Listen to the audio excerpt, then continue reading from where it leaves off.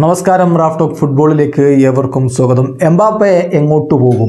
അദ്ദേഹം P S സിയിൽ നിൽക്കുമോ റയൽ മാഡ്രിഡിലേക്ക് പോകുമോ? ഇത് കേട്ട് കേട്ടിപ്പം ഒരുപാട് പേര് മടുത്തിട്ടുള്ളൊരവസ്ഥയിലാണ്. എംബാപ്പെ തന്നെയാണ് ഫുട്ബോൾ ലോകത്തെ മാധ്യമങ്ങളിലൊക്കെ ചർച്ച. അതുകൊണ്ട് തന്നെ നമുക്ക് ആ വാർത്തകൾ കൊടുത്തേ പറ്റൂ എന്നുള്ളതാണ് ഇപ്പോഴത്തെ അവസ്ഥ. നാളെ എംബാപ്പെ തന്റെ തീരുമാനം പറയുമെന്ന് ആറ് ലേക്ക് ഇപ്പോൾ റിപ്പോർട്ട് ചെയ്യുന്നു. അതും നമ്മൾ കണ്ടറിയേണ്ടതുണ്ട്. എന്തായാലും എംബാപ്പയും അദ്ദേഹത്തിന്റെ പരിവാരങ്ങളും.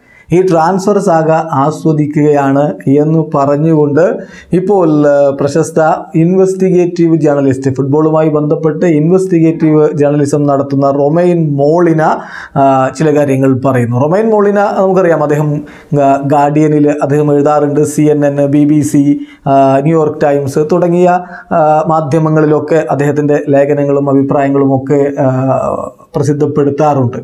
അദ്ദേഹം പറയുന്നത് കിലിയൻ അമ്പാപ്പയും അദ്ദേഹത്തിന്റെ പരിവാരങ്ങളും ഈ ട്രാൻസ്ഫർ സാഗ എൻജോയ് ചെയ്യുകയാണ് എന്നാണ്.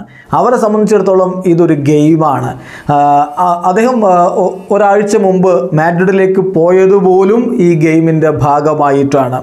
രണ്ട് ടീമിനെയും പി എസ് സിയെയും റയൽ മാഡ്രിഡിനെയും അവർ ഈ രൂപത്തിൽ ഒരു സമ്മർദ്ദത്തിലേക്ക് കൊണ്ടുപോകുന്നു. They used both P S C and Real Madrid to start a bidding war പരസ്പരം ഒരു ബിഡിംഗ് വാർ താരത്തെ സ്വന്തമാക്കാൻ വേണ്ടി ഒരു ലേലം വിളിക്കുന്ന പോലെ സംഖ്യകൾ ഇങ്ങനെ ഉയർത്തി ഉയർത്തി കൊടുക്കുന്ന തരത്തിലുള്ള ഒരു വാറിലേക്ക് നയിക്കാൻ പറ്റുന്ന രൂപത്തിലാണ് എംബപ്പയും പരിവാരങ്ങളും കാര്യങ്ങൾ ചെയ്തു വെച്ചത്.